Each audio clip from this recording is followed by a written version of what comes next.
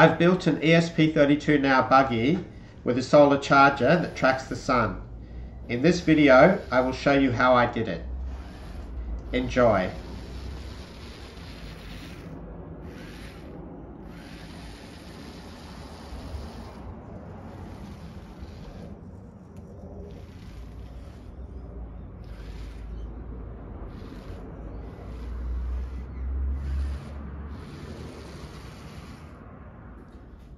Hey everyone, so in a previous video I built this ESP32 Now a remote control buggy and today I'm going to uh, put some solar charging on it for the battery. So I've got this solar module here and it's quite small. So in order to get a decent amount of current I'm going to have to track the sun. So I'm going to have to mount it on here on a camera pan tilt mechanism. Um, so let's have a look inside this and see what's inside here.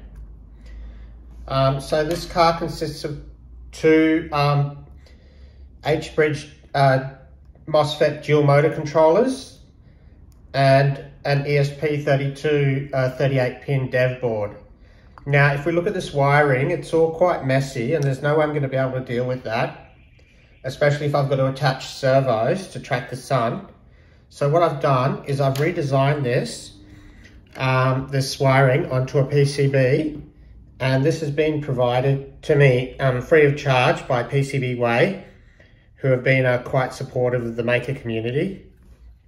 So now this is the one I prepared earlier.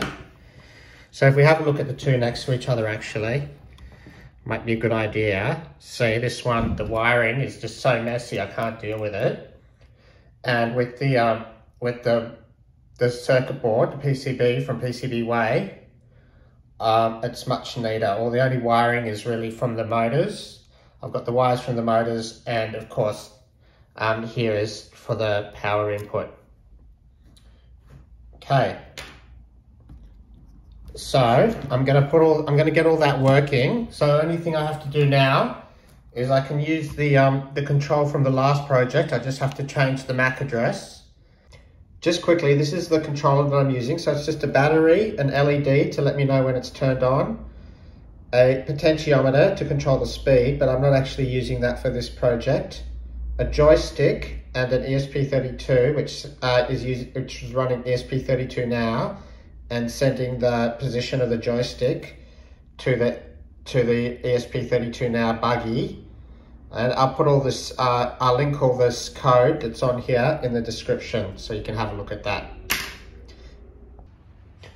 Okay, so the car's working now, so we'll just go backwards and forwards and we'll see how it goes.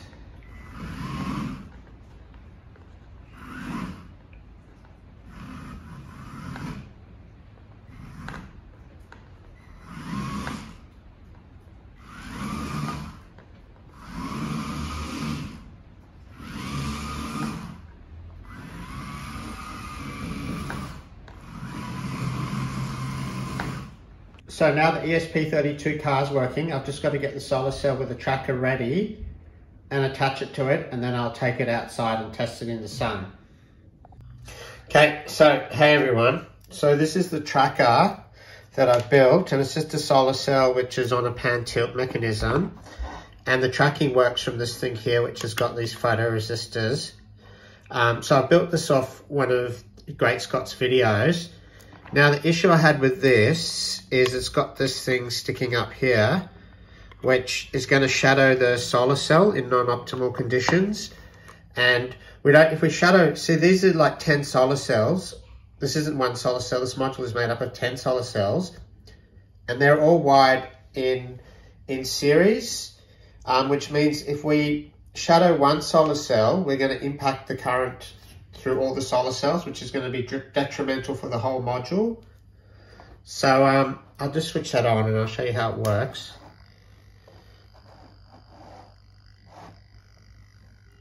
So if we shine a light, say that side, then we'll get it to move that way. If we shine a light, it's coming from the top, then it'll move up.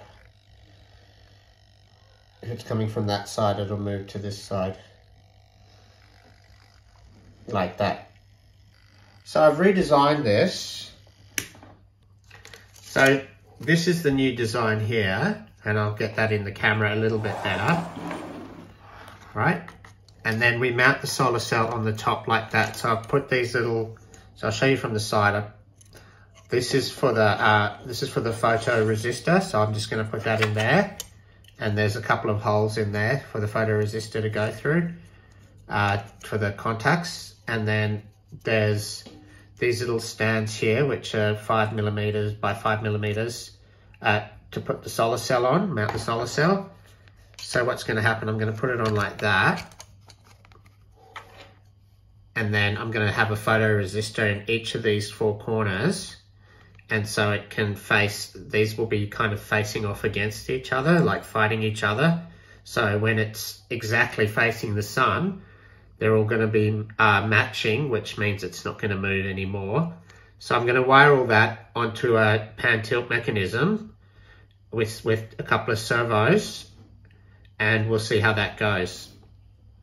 Hey everyone, so I've got the tracker all wired up now. So basically the, the tracker that I printed out is mounted on top of this pan tilt mechanism, this camera pan tilt mechanism that I got off AliExpress quite cheaply and each photoresistor is like acting like a voltage divider. So there's a 2.2 kilo ohm resistor, um, which is up wired up to the 3.3 volt, and then the the bottom of the photoresistor is wired to ground, and then we've got a wire in between the the photoresistor and the 2.2 kilo ohm resistor, which goes to the analog input of the ESP32. But for these two corner resist for these two corner photoresistors, I've also added a 100 ohm resistor between the photoresistor and ground. And this is just so we've got a stronger response from these two diagonal ones to make sure the, the response is stronger. And that gives us a little bit more stability. Otherwise, if we have a stronger response from these two, even if it's just one or two ohms, what's going to happen is it's going to get pulled around. This is going to kind of get pulled around in this direction. And if there's a stronger response from the two bottom ones, it's going to get pulled in this direction. So having a stronger response on the two diagonals, these kind of pull against each other. So this makes it a little bit more stable. So I've just achieved that with this 100 ohm resistor for this one and this one. And then these ones, the photoresistors just are connected straight to ground. Um, and I've put some um, instructions up on how to do this, which is linked in the description. So uh, the next scene, I'll take this outside and demo it in the sun. All right, so this is gonna be my first test under the sun and I've got it on the chassis now, on the, on the top layer of the chassis. So I can just stick it on top of the car when it's done and I'm just going to wait till I've got all the wiring and everything correct before I put the solar cell on. So I've got to switch it on. So here goes, first test. So the sun is kind of coming from that direction there, so it should turn towards that direction. Let's have a look.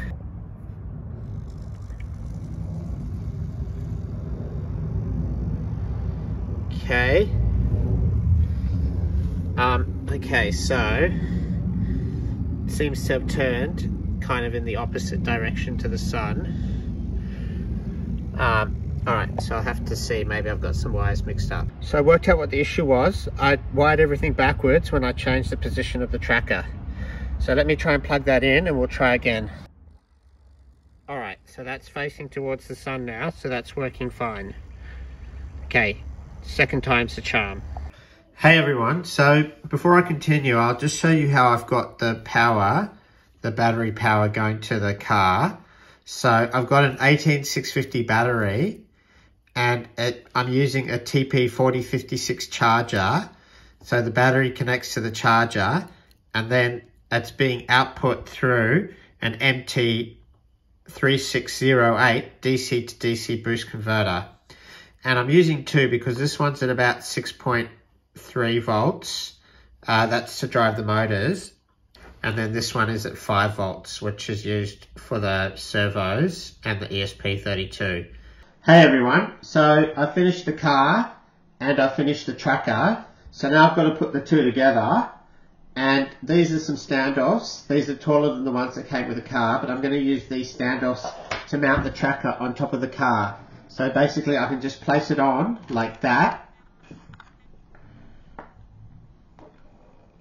So anyway, I'm going to wire all that up, and with all these wires, I've labelled all the bottom wires with these little labels, so I can know which ones to connect them on the top. So I just have to screw this in and wire this all up, and then hopefully I'll have it working in the next scene. Alright, so everything's wired up and we can see the cells on the top. I'm just going to do the first test. So I'm going to turn it around and see if that cell turns around. And we can see it turns around, alright? Now the other way. Okay, that's that seems to be working quite well.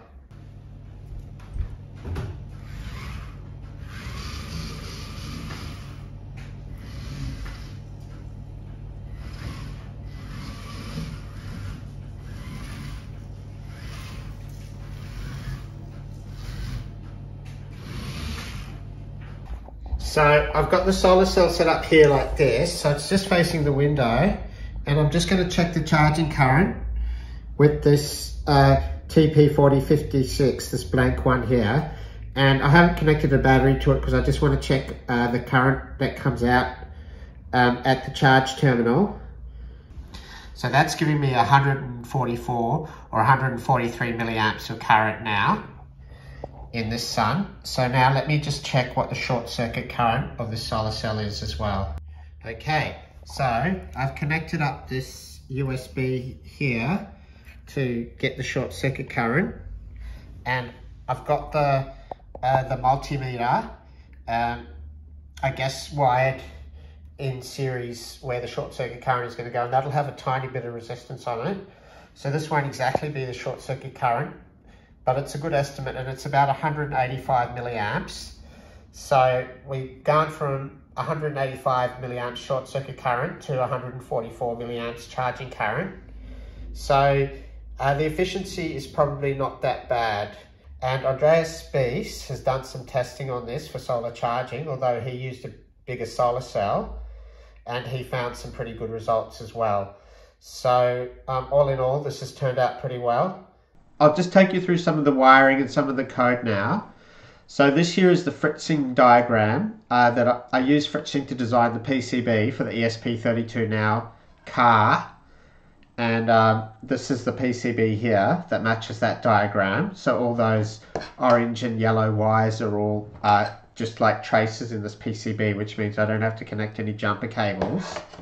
Now these are two TB uh, 6612 FNG uh, dual MOSFET H-bridge motor controllers and they actually uh, they're actually a little bit more energy efficient than their than the BJT motor controllers, which are the LM298Ns. Uh, so the way I've connected these is I've kind of paired them together. So the PWM-A pin of one motor controller is connected to the PWM-A pin of the other motor controller, and the INA1 pin of one motor controller is connected to the INA one pin of the other motor controller. So corresponding pins on these motor controllers are connected together. And I've done that because I've got because I'm having the left wheels always going in the same direction and the same speed and the right two wheels always going in the same direction and the same speed. And the reason I just didn't use one motor controller is because uh, these motor controllers can only handle up to about one amp current. So I thought if I'm going to draw too much current, uh, I should probably use two. And so all these pin connections, all the numbering, I've actually put here in the code. So yeah, so PWMA is pin 13, PWMB is pin 33 actually. And the standby pin, I've connected to pin 19, but I haven't actually integrated that into the board. Um, the standby pin I've connected up here actually, and I've left that uh, purposely disconnected. So what I do is I have to use a jumper cable to connect that to pin 19 uh, when I run the code. Um, and the reason I've left that disconnected is just in case I might have not wanted to connect it to a pin, I might have wanted to connect it high. So if I wanted to connect it high, I've got the high connection here, so I could just connect these two here together basically, and this this one here connects to the positive line. So I've got a positive rail here and a ground rail here, 5 volt positive rail. So then I would be holding the standby pin high all the time. Uh, but the but then I decided uh, in the code I'd connect it to pin 19 because I wanted to put the ESP32 uh, module to sleep while the battery was charging. And if this is connected to to the to a positive pin instead of a, a, a one of the digital outputs of the board then it's going to keep drawing current. If you want to make this into a PCB all you have to do is click this arrow and export it to an extended Gerber and then you'll get a whole bunch of files and you just put those into a zip drive or into a .rar drive and from there you can just upload them. If you want to use PCBWay you can upload them to PCBWay and go here um, quick order PCB and then add Gerber file. And it's just as simple as that so I just want to take you through a few things in the code and I've linked this in the description. So if you've got any questions about it, please leave them in the comments. But there's just a few things I want to show you. So firstly is the time to sleep. So at the moment it's set to 10 seconds, but that was just for debugging. Um, you can put it to sleep for longer. So this is, you just put the ESP32 32 to sleep while it's while the battery's charging uh, to consume less power. So you, you can just leave it in the sun somewhere. Now these here, servo top persistent and servo bottom persistent, uh, these will record the last known positions of the servo when when the ESP32 goes to sleep.